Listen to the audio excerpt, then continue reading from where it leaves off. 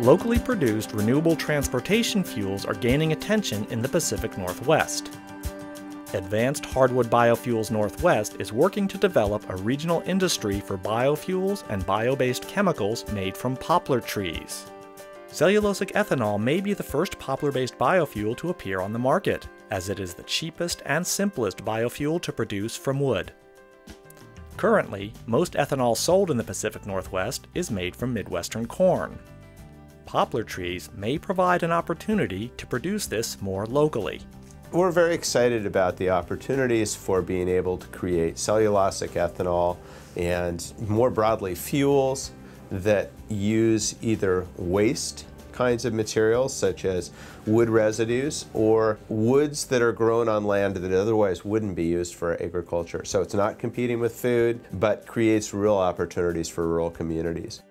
AHB's industry partner Zeachem has been fine tuning their process to make ethanol at their demonstration biorefinery in Boardman, Oregon. Where we're standing today is a demonstration facility, and the intent of this facility and its smaller scale, 250,000 gallon per year capacity, was to prove the commercial viability of the Zeachem process. And we have done that. Zeachem plans to expand their production and build a commercial scale facility that will produce cellulosic ethanol from Greenwood Resources' nearly 25,000 acre poplar tree farm. Greenwood is investigating ways to sustainably grow poplar for bioenergy. We like poplar because, uh, first of all, um, it's got a, a, real high growth rate, so it doesn't require as much acreage. It's uh, a relatively little input. You know, we're growing poplar trees without fertilizer for the most part. It's a relatively clean feedstock for the biorefinery, and the sugars, the carbohydrates in there, are relatively easy to extract. To decrease the cost of production and increase sustainability, researchers are studying the best varieties of poplar to grow on marginal land without irrigation. Transitioning from research to commercialization can be challenging for the biofuels industry. With oil at 55, 60 bucks a barrel, and right now there's no cost associated with emitting carbon, it's going to be really tough to compete.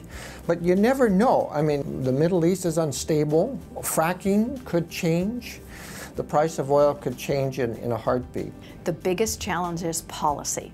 The grain ethanol industry and even the cellulosic ethanol industry developed because of federal policy. Because those policies appear to be in flux, the processing companies are reluctant to make big investments. I mean, these are huge investments into these plants.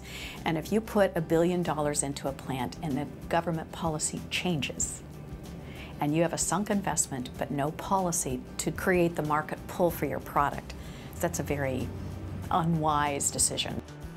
The low carbon fuel standard in California, the Clean Fuels program in Oregon, and a similar policy proposed in Washington state put restrictions on the type of fuel sold in each state in order to meet their targeted greenhouse gas reductions. As these policies require greater quantities of low carbon fuels, markets will develop for renewable fuels produced here in the Northwest.